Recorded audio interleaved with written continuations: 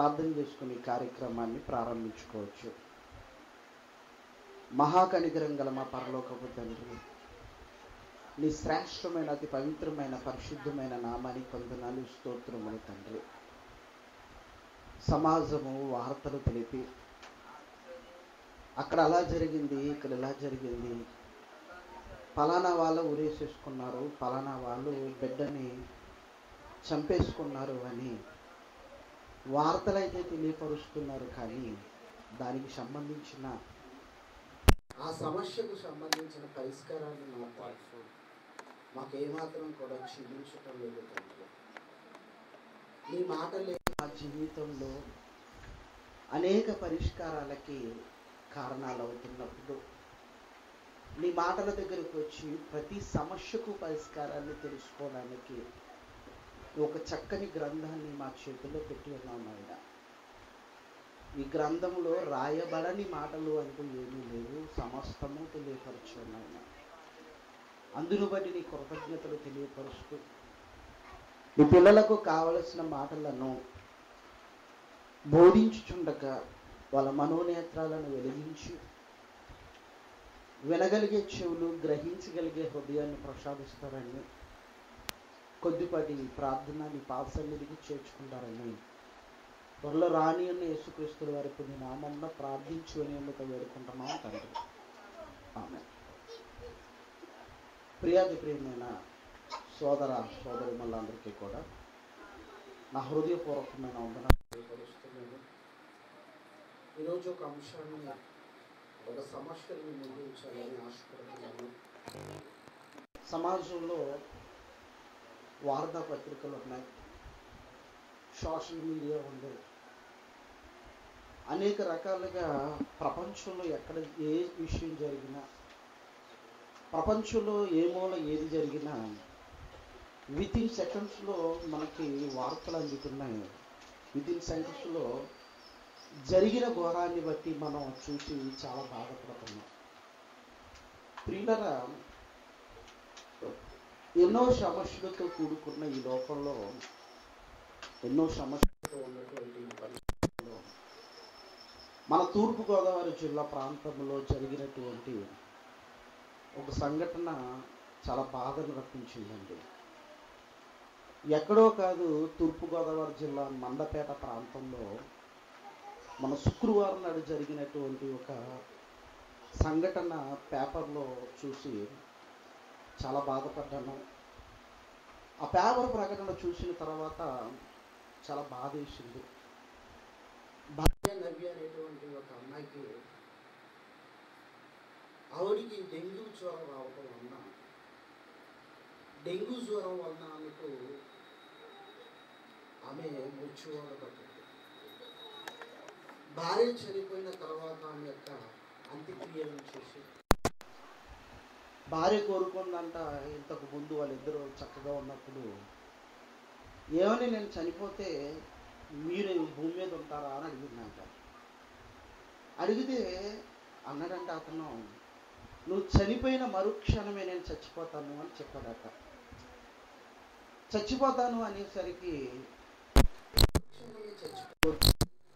దిన కార్యక్రమాన్ని చేసి చచ్చిపోవాలని భార్య చక్కని కోరిక నువ్వు లేని లోకంలో నేను ఉండలేను అన్నటువంటి భర్త భార్య అడిగిందంట నేను చనిపోయిన వెంటనే నువ్వు కూడా చనిపోతావు అంటే జన్మైపోయిందని చెప్పిందంట కానీ ఆ సమయంలో వాళ్ళకి బిడ్డ పుట్టలేదు దేవుడు గర్భఫలాన్ని ఇవ్వలేదు. కానీ అనుకోకుండా కొన్నాళ్ళకు దేవుడు గర్భఫలాన్ని ఇచ్చాడు. ఆ బిడ్డకు మూడు సంవత్సరాల పసిపిల్ల ఈ మూడు సంవత్సరాల ఈ పసిపిల్ల రిషిత అనేటువంటి ఒక పాప. దేవుడు వాళ్ళ దాంపత్య జీవితాన్ని ఆశీర్వదించి చక్కని గర్భఫలాన్ని దేవుడు ఇచ్చిన తర్వాత అనుకోకుండా డెంగ్యూ వ్యాధి బారిన పడి మృత్యువాత పడి ఆ అమ్మాయి చనిపోయింది నవ్యశ్రీ. ఇదంతా ఎక్కడ జరిగిందంటే మండపేట ప్రాంతంలో జరిగింది. ఇలా నవ్యశ్రీ చనిపోయిన తర్వాత భర్త భార్య కోరిక మేరకు ఆమె దిన కార్యక్రమాన్ని చేశాడు చేసిన తర్వాత నా భార్య లేని లోకంలో నేను ఉండకూడదు అని ఆత్మహత్య చేసుకోవడానికి అతను నిర్ణయం తీసుకున్నాడు. అయితే తీసుకున్నకు ముందు వాళ్ళ జీవితం ఏంటి అంటే అతను చిన్నప్పుడే తండ్రి మరణించడంతో తండ్రి మరొక స్త్రీతో పెళ్ళి చేసుకోవడం వలన చిన్నప్పటి నుంచి అనాథగా పెరిగాడు చిన్నప్పటి నుంచి అతను అతని చెల్లి కూడా అనాథగా పెరగడం యుక్త వయసుకు వచ్చిన తర్వాత చెల్లి కూడా చక్కగా వివాహం చేయడం అమ్మాయిని కోరుకొండ ప్రాంతంలో ఒక యువకుడికి ఇచ్చి పెళ్ళి చేయడం. చేసిన తర్వాత పోనీ ఇతను అనాథ కదా అనుకుంటే వాళ్ళ భార్య కూడా పాపం ఆమె కూడా అనాథ. ఇద్దరు అనాథలే. ఇద్దరు అనాథలే. ఇద్దరు అనాథలైతే వాళ్ళకి వివాహం అయిన తర్వాత నాకు తోడు దొరికిందని మా భర్త నాకు తోడు దొరికిందని భార్య అని ఇద్దరు కూడా చక్కగా జీవనాన్ని సాగిస్తున్నప్పుడు డెంగ్యూ వ్యాధి ఆ కుటుంబంలో తీరని కలతను తీసుకొచ్చింది. ఈ డెంగ్యూ వ్యాధి కోసం ఉదయం నేను సబ్జెక్ట్ చెప్పాను. డెంగ్యూ వ్యాధి ఎలా సంభవిస్తుంది? ఈ డెంగ్యూ వ్యాధి ఎలా వస్తుంది? దానికి మూడు స్టేజ్లు ఉంటాయి. First stage second stage third stage. ఇలా ఈ వ్యాధి ఎలా వస్తుంది అని నేను చక్కగా ఫస్ట్ ఎపిసోడ్లో మాట్లాడాను. మీరు వీలైతే అది చూస్తే మీకు అర్థమవుతుంది. ఇది రెండో ఎపిసోడ్గా మాట్లాడుతున్నాను. ఈ డెంగ్యూ వ్యాధి అనేది ఒక ఆడదోమ వలన వస్తుంది. ఒక ఆడదోమ. ఏరియాస్ ఈజిప్తి అనేటువంటి ఒక ఆడదోమ ద్వారా ఈ డెంగ్యూ వ్యాధి అనేది వ్యాప్తి చెందుతుంది. ఇక విషయంలోనికి వెళ్ళిపోతే భార్య చనిపోయిన తర్వాత అతని యొక్క అంత్యక్రియలు చేశాడు చేసిన తర్వాత దిన కార్యక్రమాలు చేశాడు చేసిన తర్వాత చనిపోవాలని నిర్ణయం తీసుకున్నాడు. తీసుకునేసరికి పసిపిల్ల ముఖం చూశాడు. పసిపిల్ల ముఖం చూసేసరికి అనిపించింది ఇదిగో నేను అనాథగా బతికాను. అనాథగా బతికినప్పుడు ఎన్ని ఉపద్రవాలు ఎదుర్కొన్నాను ఎన్ని బాధలు ఎదుర్కొన్నాను ఎన్ని రోజులు పత్తులతో పడుకున్నాను ఎంతమంది చేత చేదరించుకున్నాను. బంధువులే వేరైపోయారు చాలామంది మమ్మల్ని చేదరించుకున్నారు అని చాలా బాధపడి లేదు లేదు నేను కూడా చచ్చిపోతే నా కుమార్తె అనాథైపోతుంది నేను కూడా మరణిస్తే నా కుమార్తె అనాథైపోద్ది ఏం చెయ్యాలని నిర్ణయాలు తీసుకుంటున్న క్షణంలో రాకూడని ఒక భయంకరమైన ఆలోచన అతనికి వచ్చింది. అసలు రాకూడని భయంకరమైన ఆలోచన వచ్చింది. ఏంటి అంటే ఇదిగో నేను లేక నా భార్య లేకపోతే నా కుమార్తె అనాథగా బ్రతుకుతుంది అని ఆ పాపని దగ్గరికి తీసుకున్నాడు. తీసుకుని తలగడ తీసుకొచ్చాడు. తలగడ తీసుకొచ్చి ఆ తలగడతో గొంతు నొల్లేసి ముందు ఊపిరాడకుండా చంపేశాడు. చిన్నపిల్లండి పసిపిల్ల ఆ పాపను చంపేశాడండి. చంపేసేసరికి ఇక చంపేసిన తర్వాత ఊరు పోసుకుని అతను కూడా చచ్చిపోయాడు. ఇదంతా ఎందుకు చెబుతున్నానంటే ప్రియమైన దేవుని పిల్లలారా అతనికి జీవితం యొక్క విలువ తెలియకపోవటం వలన తను మరణించాడు తనతో పాటు తన కుమార్తెను కూడా చంపేశాడు. ఈ పేపర్లకు పోయే కాలం ఉందండి. సోషల్ మీడియాలో కావచ్చు. లేదు. ఈ పేపర్ వాళ్ళు కావచ్చు పోయే కాలం ఉంది. ఏదైనా ఏదైనా ఇలాంటి పిచ్చి పనులు చేస్తున్నప్పుడు ఇలాంటి పిచ్చి పిచ్చి కార్యక్రమాలు చేస్తున్నప్పుడు పేపర్ చివరి ఎక్కడో వేస్తే ఈ వీళ్ళ చూడు ఎంత పిచ్చి పని చేశారో వీళ్ళ జీవిత విలువ తెలియక అనేసి ఏదో రాయడం మానేసి వాళ్ళు వాళ్ళ పొగుడుతూ రాస్తూ ఉంటారు ఎక్కువ శాతం. వాళ్ళు పొగుడుతూ రాస్తూ ఉంటారు. వాళ్ళ పొగుడుతూ రాస్తున్న దానివల్ల మొదటి పేజీలో హెడ్లైన్స్లో డెంగ్యూ వ్యాధి బెలి తీసుకుందని ఎప్పుడైతే హెడ్లైన్స్లో వేశారో ఈ విషయాన్ని చూశారు ఒక అతను. ఇది జరిగింది మొన్న లక్ష్మీవారం నాడే జరిగింది మండపేట ప్రాంతంలో. భర్త పేరు చందన్ కుమార్ భార్య పేరు నవ్యశ్రీ కుమార్తె పేరు మూడు సంవత్సరాల పిల్ల రిషితి. ఇది జరిగిన తర్వాత ఇది జరిగిన తర్వాత ఇది తూర్పుగోదావరి జిల్లాలో జరిగితే శుక్రవారం మరో సంఘటన జరిగింది.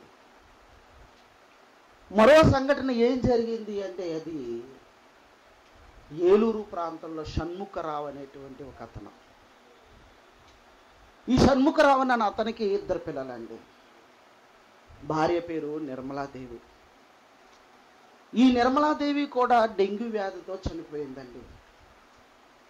ఈ నిర్మలాదేవి కూడా డెంగ్యూ వ్యాధితో చనిపోవడం వలన ఇక్కడ నా భార్య లేని లోకంలో నేను కూడా ఉండలేను. తను ఈ లేని ఈ లోకంలో నాకు బ్రతుకు లేదనుకున్నాడు. అనుకున్న వెంటనే అతను కూడా ఉరేసుకుని చచ్చిపోయాడు. అక్కడ కూడా చెప్తున్నారు ఏమన్నా తెలుసా? ఇదిగో ఇద్దరు పిల్లల్ని అనాథలు చేసేసి వెళ్ళిపోయాడు. ఇగో మండపేటలో తన పిల్ల అనాథ కాకూడదని అతను ఆమెను కూడా తీసుకుపోయినటువంటి వ్యక్తి చందన కుమార్ అయితే లేదు లేదు పిల్లలిద్దరిని అనాథలు చేసి వెళ్ళిపోయారు అని మళ్ళీ పేపర్లో ప్రకటన. అంటే అతను చేసినట్టు వీళ్ళని కూడా చేయమనా?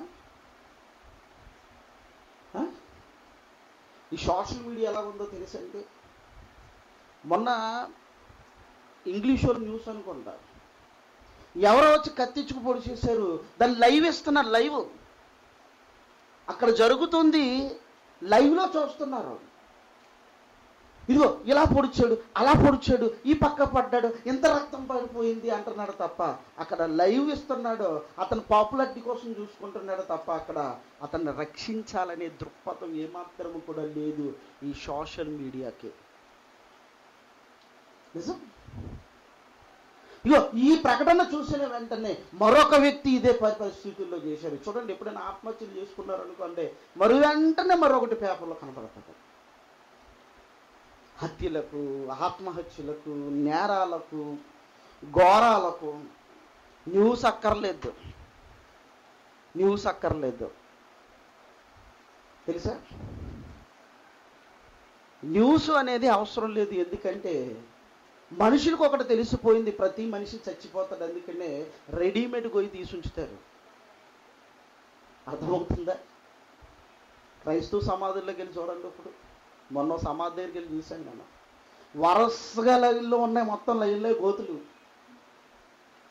ఇంచుమించు ఇరవై ఉన్నాయి.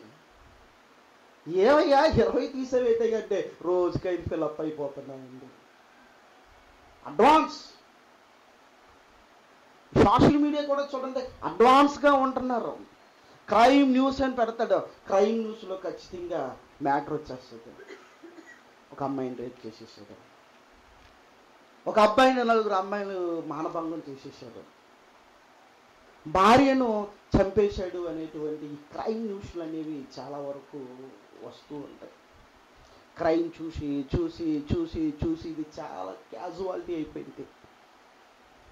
మనకి పెద్దగా బాధ అనిపించటం లేదండి మనకు పెద్దగా బాధ అనిపించటం లేదు తెల్లారి లేస్తే ఇలాంటి న్యూస్లు వెళ్ళి చూస్తాం? తెల్లారి లేస్తే ఎన్ని ఆత్మహత్యలు చూస్తలేదు. తెల్లారి లేస్తే ఎన్ని హత్యలు చూస్తలేదు. తెల్లారి చేస్తే ఎన్ని యాక్సిడెంట్లు చూస్తలేదు. తెల్లారి లెగిస్తే ఎన్నో మానభంగాలు చూస్తున్నాం కదా. ఇది కామన్ అయిపోయింది ఈరోజు మనుషుల్లో ప్రేమ చచ్చిపోయింది. ఎంత ఎలా చచ్చిపోయింది అంటే చిన్న పిల్లల్లో కూడా చిన్న పిల్లల మనస్తత్వం అండి. చిన్న పిల్లల్లో కూడా యేసుప్రభు ఒక రోజు వచ్చి ఒక చిన్న పిల్లవాడిని నుంచోబెట్టి మీరు మార్పు నుండి ఇలాంటి వారైతే మార్పు నుండి ఇలాంటి వారైతేనే పరలోక రాజ్యంలోకి ప్రవేశిస్తారు అని దేవుడు చెప్పాడు. కానీ ఇప్పుడున్న చిన్నపిల్లల కాకేసి ఈ పిల్లల్ని చూపించకూడదు ఇప్పుడు. ఎందుకో తెలుసా? రెండు సంవత్సరాలు వస్తే చాలు పబ్జి గేమ్ ఆడుతున్నారు. బానిసలు. బానిసలు. నేర ప్రవృత్తిని ప్రోత్సహిస్తుంది ఈ సమాజం. చిన్నపిల్లల మధ్యలో ఎలాగుందో తెలుసా ఈరోజు? ఈ పబ్జి గేమ్ అనేది ఎలాగుంటుందో తెలుసా? వాడు గన్నించుకుని ఒక బ్యాచ్ ఉంటుంది నలుగురు ఐదుగురు ఉంటారు. ఈ నలుగురు ఐదుగురులు ఇంచుమించు వంద మందిని చంపాలి. చంపడం చావడం చంపడం చావడం. రక్తపాతం. గేమ్స్లో రక్తపాతం టీవీలో రక్తపాతం ప్రపంచంలో రక్తపాతం ఎక్కడ చూద్దామన్న రక్తపాతం ఎక్కడ చూద్దామన్న నేరాలే. కామన్ అయిపోయింది. ఇదిగో నిండు మూడు ప్రాణాలు తమ బ్రతుకు విలువ తెలియక చనిపోయి అనేసరికి ఏమండి మీకు కామనేమో కానీ ఆ మనిషిని భూమి మీదకి పంపించిన దేవుడు మాత్రం చాలా చెప్తారండి చాలా బాధపడతాడండి నిజం. దేవుడు చాలా విషయాలు రాయించాడు బైబిల్లో చాలా విషయాలు రాయించాడు. జీవితం విలువ తెలియటానికి జీవితం కొరకు నువ్వు అర్థం చేసుకోవడానికి చాలా విషయాలు రాశాడు. భూమి మీద ఉన్న అనేకమైనవన్నీ కూడా నీకు బలైపోయి నీకు బ్రతుకునిస్తున్నాయి. ఎన్నోసార్లు చెప్తాను ఆదివారం వచ్చింది కోడి తెగాలంటే చేప కొయ్యాలంతే ఆ? కోడి తన బ్రతుకునిచ్చి నిన్ను ఎందుకు బ్రతికించాలి? అదెందుకు చావాలి? నువ్వెందుకు బ్రతకాలి? అదెందుకు చావాలి? నువ్వెందుకు బ్రతకాలి? నీ బ్రతుకు విలువ తెలియక నువ్వెందుకు చచ్చిపోతున్నావు? ప్రసంగి గ్రంథం. ప్రసంగి పన్నెండవ వచ్చిన ఏడు పన్నెండు. జ్ఞానము ఆశ్రయాస్పదము ఉంది. జ్ఞానమట ఆశ్రయాస్పదము ఆశ్రయము. ఆశ్రయము అనేసరికి ఆశ్రయాలు లేక ఎన్నో మంది అనాథలుగా ఉంటున్నారు. కదా? ఆదరించేవారు లేక ఆశ్రమాన్ని ఇవ్వక ఎవరూ లేక చాలా అనాథలుగా చాలామంది ఉన్నారు ఈ రోజుల్లో. ఒక వృద్ధురాలను తీసుకువెళ్ళి వృద్ధురాలను తీసుకువెళ్ళి అయ్యో ఈవిడికి నీడంటూ లేదు కదా. ఈవిడికంటూ ఒక నీడ ఉండాలనేటువంటి ఉద్దేశంతో ఏం చేసామంటే ఆశ్రయములో చేర్చామండి. ప్రారంభంలో మన సహోదరులు చాలా లట్టుకుండేవారు. ప్రారంభంలో. ఒకనొక రోజు నేను ఇలా స్టేడియం రోడ్లో వెళ్తున్నప్పుడు ఒక ముసలావిడ వృద్ధురాలు బహువృద్ధురాలు ఆవిడకి ఏమైందో నాకు తెలియదు కానీ ఆమె కింద పడిపోయింది. కింద పడిపోయి మొత్తం ఒళ్ళంతా కూడా లిటర్ వెళ్ళిపోయింది పాపం. పైకి లేకలేకపోతుంది లోపల ఉండలేకపోతుంది. చాలా దారుణ అతి దారుణమైనటువంటి స్థితిలో ఉంది. నాకు ఎందుకో ఒకసారి బాధేసింది అప్పుడు ఎమ్మటిని రాఘోకి శాఖర్కి తర్వాత ఏలియకి వీళ్ళందరూ ఫోన్ చేశాను నేను. తమ్ముడు పాపం పెద్ద చాలా దారుణంగా ఉంది నాయన. చాలా దీన స్థితిలో ఉంది నాయన. చాలా భయంకరమైన స్థితిలో ఉంది నాయన అని చెప్పేసరికి అరే అన్నయ్య పరిస్థితుల్లో ఉందా? అని వెంటనే వచ్చారు. ఇక ఆమె రోతతో ఉన్నా సరే ఆమెను పక్కన పెట్టేశారు. చక్కగా ఎత్తుకున్నారు. ఎత్తుకుని ఏం చేశారంటే పక్కకు తీసుకెళ్ళారు. తీసుకెళ్ళిన తర్వాత ఒక తల్లి వచ్చింది. ఆమె శుభ్రంగా స్నానం చేయించింది. ఆవిడింట్లో నుంచి చక్కనటువంటి ఒక చీర తీసుకొచ్చింది తీసుకొచ్చి చక్కగా కట్టింది. కట్టిన తర్వాత ఆమెను తీసుకెళ్ళాము. తీసుకెళ్ళి నలుగురు ఒక నిర్ణయం తీసుకున్నాం. అప్పుడు ఉన్న వాళ్ళు రాఘవ శేఖర్ తర్వాత ఏలియా శివ. కథమ సహోదరులు కూడా ఉన్నారు కానీ కానీ ఆ స్పాట్లో ఉంది మాత్రం మేమే. మేము నలుగురు అనుకున్నాం. ఇగో ఈమెకి అయ్యే ఖర్చు అంతా మేము పెట్టుకుంటాం.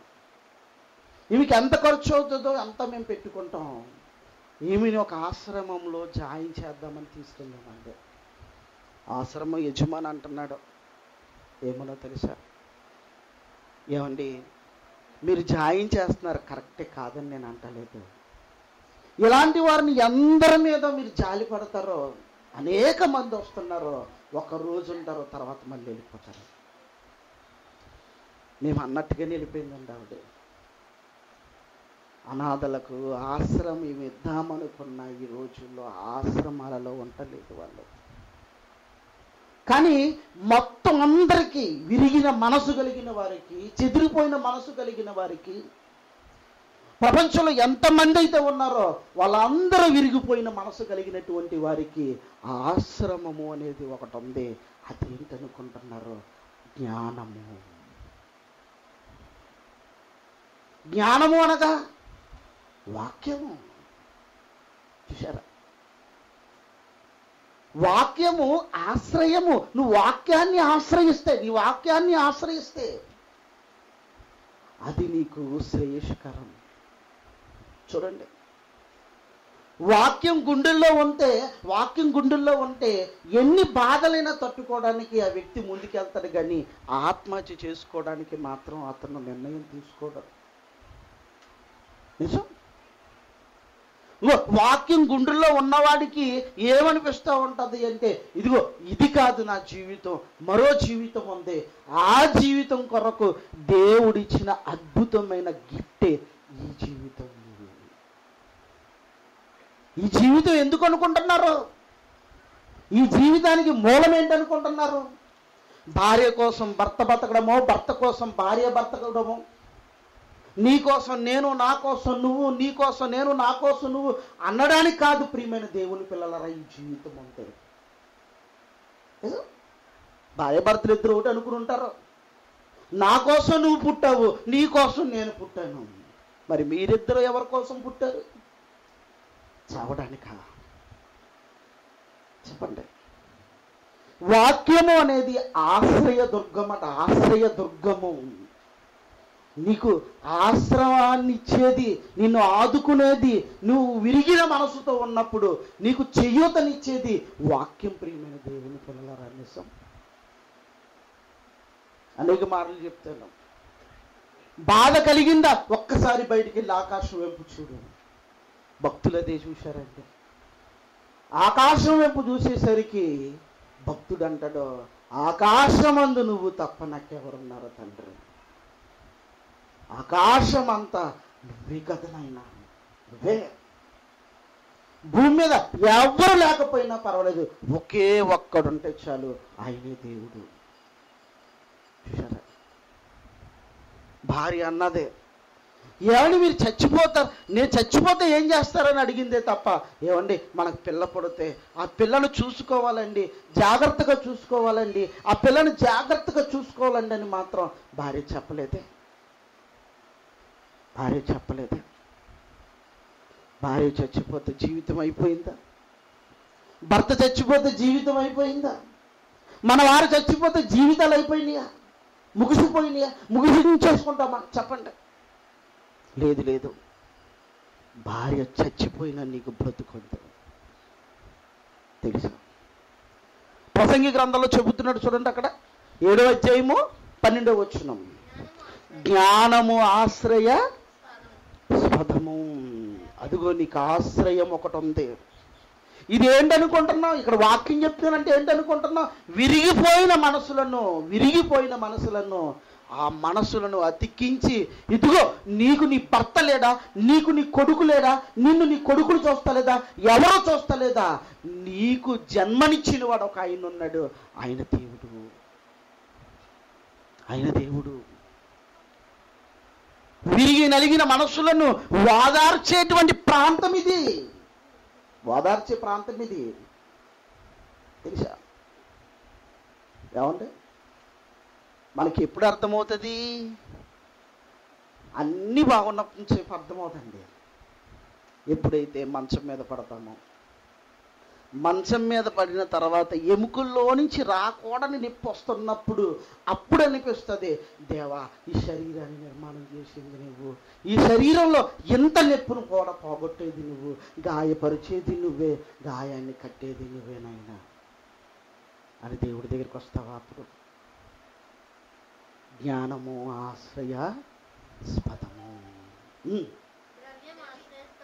ద్రవ్యము కూడా ఆశ్రయాస్పదమేనట. జ్ఞానము ఆశ్రయాస్పదమట. ద్రవ్యము ద్రవ్యము ఇదిటి ఇది ఇది ఒక ఈక్వల్ చేస్తున్నాడేటి? ద్రవ్యము కూడా మనల్ని ఆదరిస్తుందట. కానీ ఈ రెండిట్లకి కంటే ఈ గొప్పదేంటో చెప్తున్నాడు చూడండి. గొప్పదేంటో చెప్తున్నాడు చూడండి అక్కడ. ఏంటది? అయితే అయితే జ్ఞానము దాన్ని పొందిన వారి ప్రాణమును రక్షించును. జ్ఞానము జ్ఞానము ద్రవ్యము. జ్ఞానము ద్రవ్యము. ద్రవ్యం ప్రాణాన్ని కాపాడుతుందా? జ్ఞానము ప్రాణాన్ని కాపాడుతుందా? చెప్పలేదు. ద్రవ్యం చాలా ఉంది. ద్రవ్యం విపరీతంగా ఉంది. ఈ విపరీతంగా ఉన్న ఈ ద్రవ్యాన్ని తీసుకువెళ్ళి ఇదిగో నాకు ఎంత ద్రవ్యం ఉంది నా రోగాన్ని నయం చేయమని అన్నావు అనుకో సపోజ్ ఉదాహరణకి డాక్టర్ దగ్గర దేవుడిచ్చిన జ్ఞానం ఉండాలి. నీకు అర్థమైందా? ప్రియమైన వాళ్ళరా ఈ డెంగ్యూ వ్యాధి అనేది ఎప్పటిది కాదండి. ఇప్పటిది కాదు.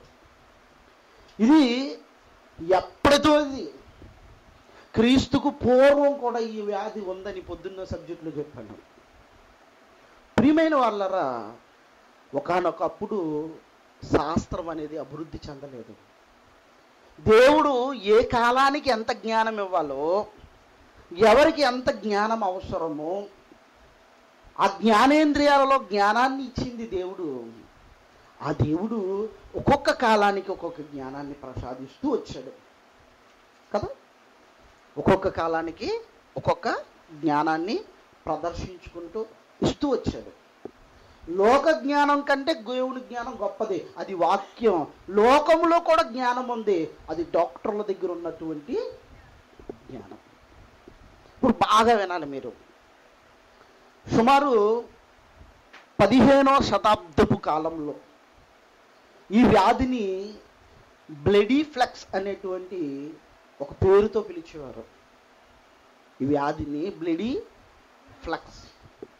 అని ఒక పేరుతో పిలిచేవారు అప్పుడు చాలామంది రోగాన బారిన పడేవారు. చాలామంది రోగాన బారిన పడినప్పుడు దాన్ని రక్తస్రావం అనేది అవుతుంది. అంటే శరీరం లోపల రక్తనాళాలు ఉంటాయి. ఈ రక్త గొట్టాలు ఉన్నప్పుడు ఈ రక్త గొట్టాలలో నుంచి రక్తం అనేది బ్లీడింగ్ అయిపోతూ ఉంటుంది. ఇక అప్పుడు వైద్యం లేదు. వైద్యం అందుబాటులో లేదు. వైద్యం అందుబాటులో లేదు ఔషధాలు లేవు మూలికలు లేవు. అవి ఉన్నా దేవుడు వాళ్ళకి జ్ఞానాన్ని ప్రసాదించలేదు. ఇప్పుడు ధనం ఉంది. ధనం ఉంది. కానీ జ్ఞానం లేదు. ఇప్పుడు ఏదంటే నీకు అక్కడ ప్రాణం రక్షింపబడుతుంది? ఏదండాలి జ్ఞానము దాన్ని పొందిన వారి ప్రాణమును రక్షించును చూసారా జ్ఞానమున్న దేవుడు వాళ్ళకి అనుగ్రహించాలి. అక్కడ చెప్తున్నాడు చూడండి జ్ఞానము వారి ప్రాణమును రక్షించును. ఇదే జ్ఞానము వలన కలుగు లాభము. తర్వాత? దేవుని క్రియలను ధ్యానించుము. ఆయన వంకరగా చేసినవి ఎవరు చక్కపరచగలరు?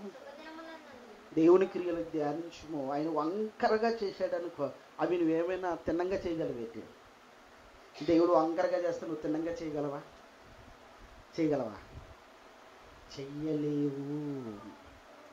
ఆయన వంకరగా చేయడు. నువ్వు వంకరోడివి. ఆయన ఇది చేస్తాడు? మనిషి వంకరోడే కాదా? మనిషి ఎటువంటోడు? వర బాబు ఏమొద్దంటే అదే చేస్తాడు మనిషి. ఏది చెయ్యొద్దంటే అది చేస్తాడు. ఏషియా గ్రంథము. ఓషియా గ్రంథము నాలుగో వచ్చేమో ఒకటో వచ్చిన చూడండి ఒకసారి. ఓషియా గ్రంథము నాలుగో అధ్యాయము ఒకటో వచ్చిన ఇశ్రాయేలీయులారా, ఇజ్రాయేలీలారా యెహోవా మాట ఆలకించుడి దేవుని మాట ఆలకించండి అన్నారు మీరు. దేవుని మాట ఆలకించండి అన్నారు ఏమండి? దేవుని మాట ఆలకించడానికి తొలవడ్డు వస్తుందండి ఈరోజు దేవుని మాట ఆలకించటానికి మతం అడ్డు వస్తుందా ఈరోజు దేవుని మాట ఆలకించటానికి నీ ఐశ్వర్యం అడ్డు వస్తుందా? దేవుని మాట ఆలకించటానికి ఏదేదో అడ్డు వస్తుంది కానీ దోమక మాత్రం ఏది అడ్డు రాదు. వస్తుందా అయ్యి బాబు ఆయన పెద్ద కులస్తుడండి బాబు. ఆయన మొన్న చెప్తున్నాడు. ఆయన కమ్మట. ఆయన కమ్మ కులానికి చెందినవాడట ఎవరో వచ్చారట వచ్చి ఏమండి మీరు రక్తం ఇవ్వండి అన్నారట. రక్తం ఇవ్వండి అంటే రక్తం ఇవ్వడానికి వెళ్ళాడట. వెళ్ళేసరికి రక్తం తీసుకుంటున్నప్పుడు డాక్టర్ గారు ఆశ్చర్యపోయి ఓ మాట అన్నాడంట. ఏంటో తెలుసా? ఇదిగో ఏమండి మీ రక్తాన్ని చూస్తున్నప్పుడు నాకు ఆశ్చర్యం వేసిందండి. అదంతా ఒక క్రమశిక్షణలో ఉంటుంది ఏంటండి అన్నాడట. రక్తం క్రమశిక్షణలో ఉందా? ఏమండి? ఇందా చెప్పాడు దాం పేరు. క్రమశిక్షణ కోసం చెప్తున్నాను. ఆ దాం పేరు చెప్పాను డెంగ్యూ వ్యాధి వచ్చేటువంటి దాం పేరు ఏమన్నానంటే ఇడియాస్ ఈజిప్తి ఏ పేరు? దీప్తి కాదు. రోగాలకు కూడా పేర్లు ఉన్నాయి తెలుసా? మంచి మంచి పేర్లు పోయే కాలానికి కూడా పేర్లు పెట్టారు తెలుసా? లైలా తుఫాను. కళ్ళు మూసుకుని నవ్వుతుంది. అర్థమైందా? సునామీ ఒకసారి సముద్రం పోగేసరికి కత్రినా కైఫ్ అన్నాడు. అవును? మన పిల్లలకి చక్కని పేరు పెట్టుకుంటాం. దీప్తి అని పిలుస్తాం. ఈ ఈ దీప్తి కాదు ఇది ఈజిప్తి. అర్థమైందా? ఈరోజు ఏ రోజు చెప్పమంటారా? దీపావళి. కదా?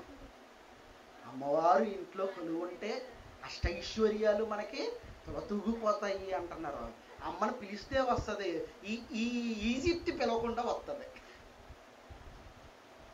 తెలుసా? ఈజిప్తి పిలవకుండా వస్తుంది. ఈజిప్తి అనేది ఆడదోమ అది పగలే కొడుతుంది. మళ్ళీ రాత్రులు కొట్టదు. తెలుసా? ఒకవేళ ఉదాహరణకి మీ అమ్మాయిని దీప్తి అన్నామనుకో అమ్మా అని వస్తుంది. ఈజిప్తి అంటే నేను ఉన్నాను వస్తుందా? ఏమండి పిలిచారేటండి? అంతదా ఆ కమ్ముడికి తెలియదు అనుకుంటున్నారు క్రమశిక్షణగా ఉన్నాయట. ప్రాస బాగుందని వాడేసాడు. కులవడ్డు వస్తుందా దోమకు కులవడ్డు రాదు సుమ. అయ్యో పెద్ద కులస్తుడు. ఆయన రక్త కణాలన్నీ క్రమశిక్షణలో ఉంటాయి. క్రమశిక్షణలో ఉంటాయి ఎల్లు కుట్టారనుకో సపోజ్. రోబో సినిమాలోని ఒక దోమ కొడుతున్నప్పుడు మూతి ఇరుగుపోద్ది చూడు అలా ఇరుగుపోద్ది అనుకుంటుందా? అవి సినిమాలు. ఆ? అవి సినిమాలు తెలుసా? ఈ దోమకి కులం అడ్డు రాదు మతం అడ్డు రాదు ప్రాంతీయం అడ్డు రాదు. ఎవరినైనా కొడుతుంది తెలుసా? ఇది డెంగ్యూ వ్యాధిని వ్యాపింపజేసే ఎడియాస్ ఈజిప్తి. చూసారా క్రమశిక్షణగా ఉన్నాయంట. ఏమండి? ఇక్కడ చెప్తున్నాడు చూడండి. ఇందాక చదివాను కదా ప్రసంగి గ్రంథం అని ఇందాక మాట్లాడింది. ఆ ప్రసంగి గ్రంథం. రైట్ ఏడవ అధ్యాయము పన్నెండవ వచ్చును జ్ఞానము ఆశయాస్పదము ద్రవ్యము ఆశయాస్పదము అయితే జ్ఞానము జ్ఞానము దాన్ని పొందిన వారి ప్రాణమును రక్షించును ఇదే జ్ఞానము వలన కలుగు అదే జ్ఞానము వలన కలుగు లాభము. అదే జ్ఞానము వలన కలుగు లాభము ఎంత లాభము చూసావా జ్ఞానము గాని నీ గుండె లోతుల్లో ఉందనుకో జ్ఞానాన్ని నిండిపోయిందనుకో అతను తన భార్య మాటలు నింపుకున్నాడు అతను. అతను ఏ మాటలు నింపుకున్నాడో? తన భార్య మాటలు నింపుకున్నాడు తప్ప దేవుని మాటలు మాత్రం నింపుకోలేదు ప్రియమైన వాళ్ళు దేవుని మాటలు నింపుంటే అతనికి అర్థమై ఉండేది నేను వచ్చింది దేవుని కోసం బ్రతకాలి. దేవుని మాటలు నింపుకుని ఉంటే అతని గుండె లోతుల్లో దేవుని మాటలు ఉండుంటే ఆ సమయంలో పరిశుద్ధాత్మ దేవుడు ఖచ్చితంగా సహాయం చేసి ఉండేవాడు. ఇదిగో నువ్వు బ్రతకాలిరా. నువ్వు బ్రతకాలి. నువ్వు బ్రతికేది ఎందుకో తెలుసా? అనేక జీవులు చచ్చిపోయి నేను బ్రతికిస్తున్నాయంటే దానికి కారణం ఏంటో తెలుసా? ఇదిగో నేను నా సత్కుమారుడైనటువంటి యేసుక్రీస్తు కూడా భూమి మీదకు పంపించి ఆయన కూడా నీ కోసం బలైపోయాడు ఎందుకో తెలుసా? భూమి మీద బ్రతకాలి. నువ్వు భూమి మీద బ్రతకాలి. బ్రతకడం కోసమే భూమి మీదకి పంపించాడు. బ్రతుకు విలువ తెలియక ఆత్మహత్య చేసుకున్నాడు అచ్చందన్ కుమార్ ఏదో పెద్ద న్యూస్ లాగా. నిజమే చాలా బాధగా ఉంది. కానీ వాళ్ళు ఏదో మంచి పని చేసినట్లుగా ఎందుకు పేపర్లో? వాళ్ళు ఏదో మంచి పని చేసినట్లు దేశాన్ని ఏదో ఉద్ధరించినట్లు. ఆ పసిపిల్లను చేతులతో పట్టుకుని చంపేస్తున్నప్పుడు మనసు ఎలాగొచ్చిందిరా దౌర్భాగ్యుడని? మాట్లాడడం పోయి.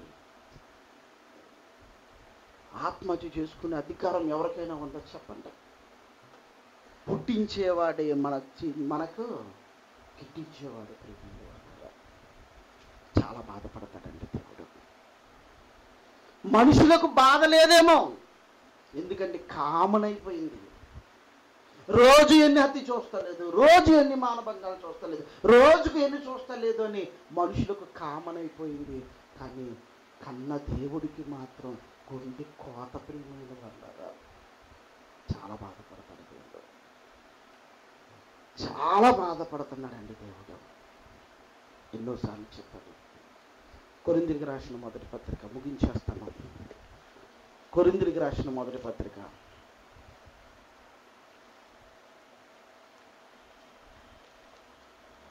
కొరిందిరికి రాసిన మొదటి పత్రిక.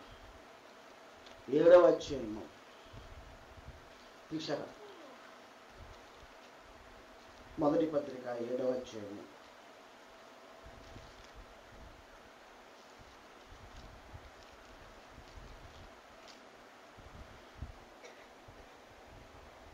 ఇరవై తొమ్మిదో వచ్చినాన్ని చూద్దాం. ఇరవై తొమ్మిదో వచ్చిన సహోదరులారా నేను చెప్పినదేమనగా కాలము సంకుచితమై ఉన్నది.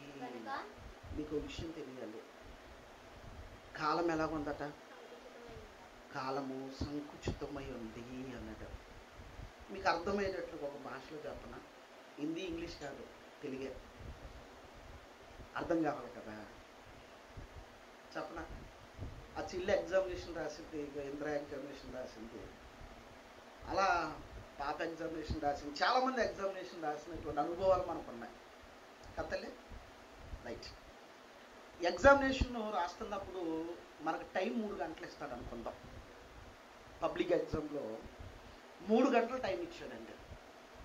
మూడు గంటల టైం వచ్చిన తర్వాత పేపర్ తీసుకుంటావు చక్కగా చూస్తావు చూసిన తర్వాత టైం ఉందిలే అనుకుంటాం.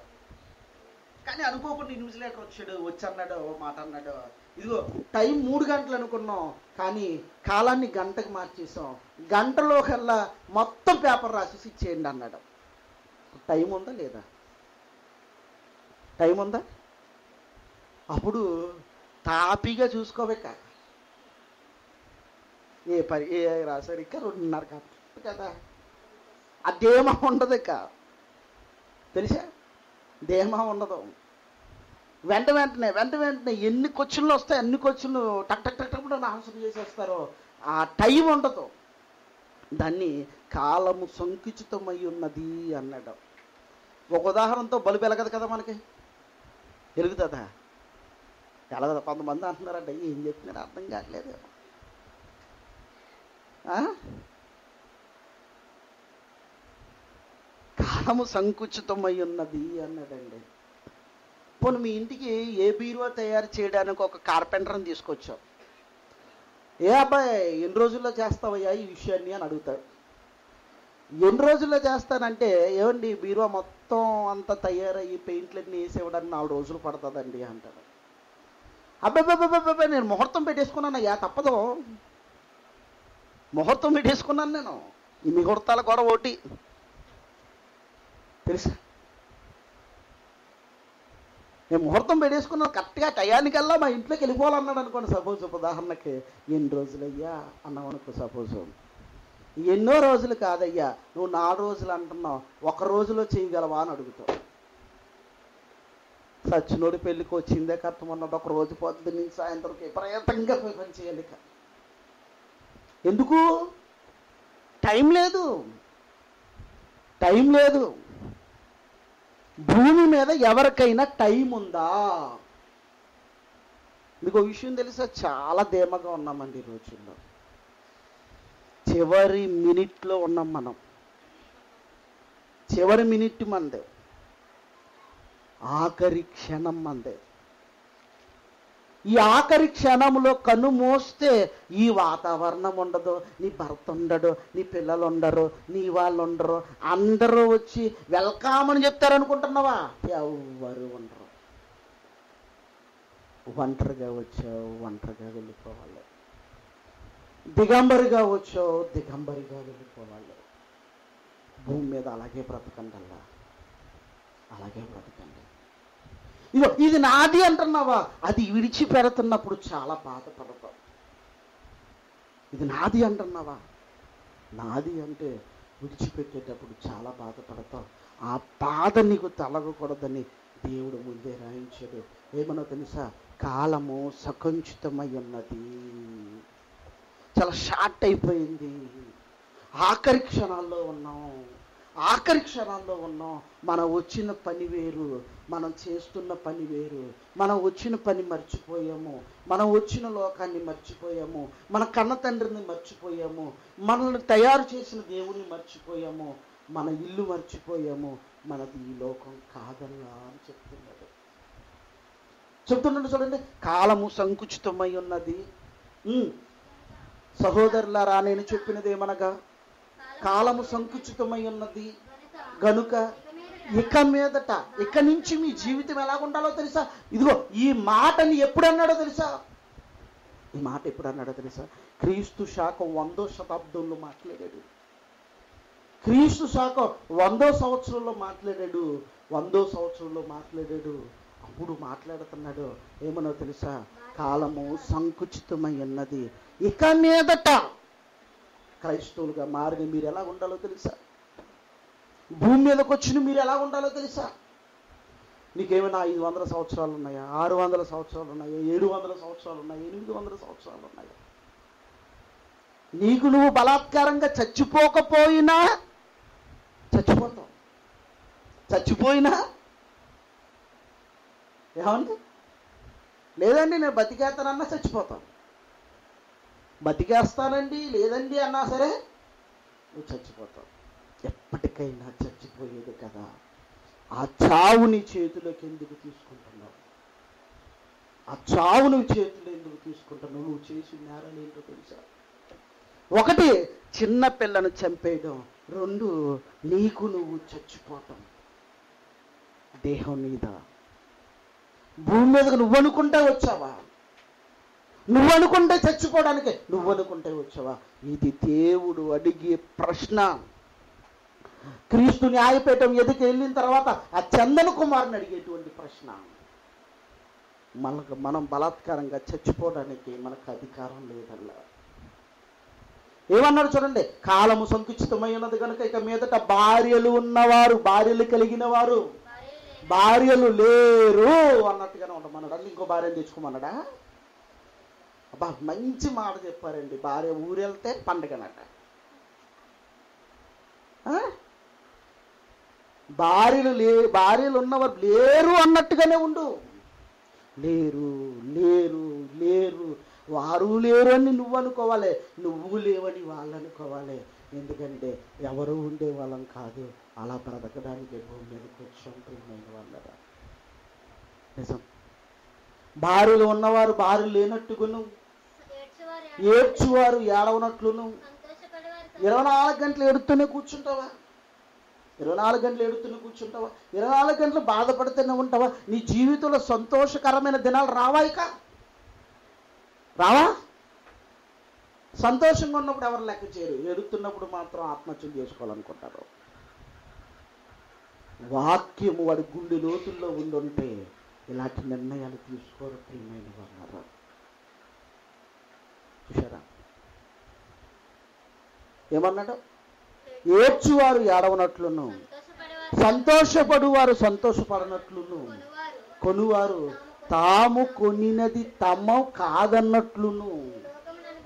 ఈ లోకమును అనుభవించువారు అమితముగా అనుభవింపకును ఉండవలెను. యాలయనగా ఈ లోకపు నటన ఈ లోకమంతా నటిస్తుంది. షేక్స్పియర్ చెప్పకముందే పౌలు గారు చెప్పారు. నటనా జీవితాలు మనకు తెలుసు. కొంచెం నిమిషాల వాళ్ళు వెండి తెర మీదో లేకపోతే బుల్లి తెర మీదో నటిస్తారు. నటించిన తర్వాత భారీగా నటించిన ఆవిడ నిజమైన సొంత భార్య కాదు. పిల్లలుగా నటించిన వారు నిజమైన పిల్లలు కాదు. అది నటిస్తున్నాడు. నటించిన తర్వాత ఆ పాత్ర ముగిసిపోయిన తర్వాత ఇంటికి వచ్చేస్తాడు ఇంటికి వచ్చిన తర్వాత తన నిజ జీవితంలో అతడు జీవిస్తాడు. నటనా జీవితం. ఇదిగో భూమి మీద ఉన్నప్పుడు కూడా మీరు నటించే జీవితం. ఎవరి పాత్ర ఎప్పుడు ముగిసిపోతుందో తెలియదు ఇగో భార్య పాత్ర ముగిసిపోయిందా? భార్య పాత్ర ముగిసిపోయిన తర్వాత ఆమె పాత్ర అయిపోయింది. ఆ పాత్ర దిగిపోయింది. ఆ పాత్ర తర్వాత నీ పాత్ర ఉందే. ఒక తండ్రిగా నువ్వు బ్రతికి ఆ కుమార్తెకు మంచి జీవితాన్ని ఇచ్చి ఆ కుమార్తెను దేవు దేవుల్లో పెంచి ఇదిగో అమ్మా నాకును నీకును జన్మనిచ్చింది పరలోకపు తండ్రి అమ్మ అని చెప్పి ఆమె జీవింప చేయవలసినటువంటి వ్యక్తి ఆమెను చంపేశాడు అతను చచ్చిపోయాడు. ఆమె పాత్ర అయిపోయింది ఆమె వెళ్ళిపోయింది. ఉండేవాళ్ళ శాశ్వతంగా ఉండేవాళ్ళ. ఎవరు ఉండేవాళ్ళు కాదు. కానీ తీసుకోకూడని నిర్ణయాలు తీసుకుంటున్నారు. పరిశుద్ధాత్మ దేవుడు మనలో ఉంటే ఆ నిర్ణయాలు తీసుకోరు. కాబట్టి బాప్తిషన్ తీసుకుని సత్య వాక్యము అనేది జ్ఞానం అనేది మీ గుండెల్లో ఉంచుకోండి. ఇలాంటి తప్పుడు నిర్ణయాలు తీసుకోము. సమాజానికి చెప్పండి. చెబితే వాళ్ళు బాగుపడతారు. కళ్ళు మూసుకోండి. చిన్న ప్రార్థన చేసుకుంటారు మహాగణుడు మహోన్నతుడు సర్వశక్తిమంతుడైన మా పరలోకపు తండ్రి. నీ అత్యంత శ్రేష్టమైన పవిత్రమైన పరిశుద్ధమైన నామానికి కొందనాలు స్తోత్రములు తండ్రి. చనిపోయిన వాళ్ళ గూర్చి ఏడవద్దు వాళ్ళ గూర్చి అంగలార్చవద్దు. వెళ్ళిపోచున్న వారిని గూర్చి వెళ్ళిపోచున్న వారిని గూర్చి మేము అందరము వెళ్ళిపోవలసిన వాళ్ళమే. ఎవరు ఉండేవాళ్ళం కాదు. అది గుర్తించుకుని భూమి మీద ఇది నాది కాదు అని బ్రతికిన అబ్రహాముల ఇసాకుల యాకోబుల. వారు ఏ దేశము నుండి వచ్చారో ఆ దేశమును జ్ఞాపకం ఉంచుకుని భూమి మీద జీవించారు. వాళ్ళు మాకు మార్గదర్శకులుగా ఉన్నారు. ఆ జీవితాలు మాకు ప్రసాదించండి. నాయన అనేక ఆత్మహత్యలు జరుగుతున్నాయి. నాయన ఒక్కసారి ఆపు చేయండి హత్యలను ఆపు చేయండి నీ వాక్యం విస్తరింప చేసేటట్టుగా నీ కృపను కూడా విస్తరింప చేయమని పిల్లలను మీ చేతులకు అప్పగిస్తూ స్వప్న తండ్రిని ప్రభు మీరు స్వస్థపరిచారు. అలాగే శాఖర్ తండ్రిని కూడా స్వస్థపరిచారు. ఏలియా భార్యను అలాగే కుమారుని కూడా ప్రభు మీ కృపతో చాటుకున్నారు. ఎవరెవరికి అనారోగ్య సమస్యలతో బాధపడుతున్నకైతే తెలియదు. కానీ తండ్రి వైజాగ్ ప్రాంతంలో ఉన్న కుమారుని కూడా మీరు జ్ఞాపకం చేసుకోమని ఈ కొద్దిపాటి ప్రార్థన మీ పాస్ అనేది చేర్చుకుంటారని త్వరలో రాని అన్న యేసుక్రీస్తుల వరకు నీ నామం ప్రార్థించుకుని వేడుకుంటున్నాం తండ్రి. ఆమె